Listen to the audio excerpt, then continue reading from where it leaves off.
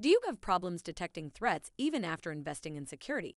Maltiverse helps organizations with instant access to real time threat intelligence, identifying and mitigating attacks before they reach critical systems. Step 1 Collection More than 100 different public, private, and community data sources are collected.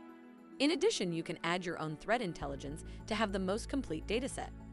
Step 2 Scoring A scoring algorithm enriches indicators with relevant context information to constantly classify it as whitelisted, neutral, suspicious, or malicious. This is the key to avoid false positives. Step 3 Delivering. Once IOCs are classified, they are packaged into threat intelligence feeds that can be integrated with your security tech stack.